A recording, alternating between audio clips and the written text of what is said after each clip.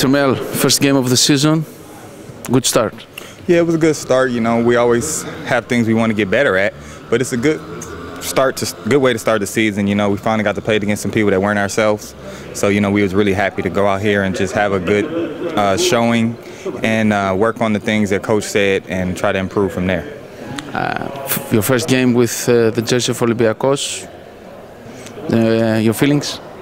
Uh, I'm never really satisfied with how I played. I felt like I made some mistakes defensively and missed a lot of open shots, but overall the energy and the effort and the attitude was there. And as I said before, the only two things I can control is how hard I play and my attitude.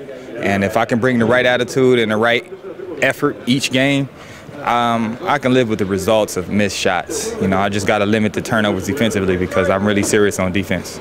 Thank you very much.